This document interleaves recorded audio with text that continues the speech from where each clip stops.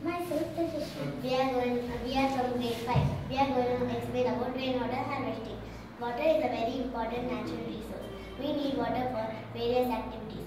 Sometimes we we sometimes we face face um, shortage of water.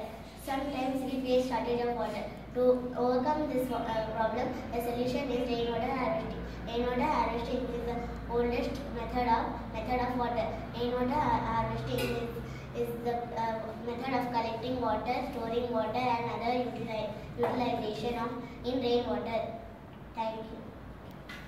The rainwater, is collected in a tank which can be used in domestic activities like washing clothes, washing cars, gardening and flushing toilets. In turn, this water can be used for drinking after proper treatment. This increase the groundwater level too. Thank you. Okay.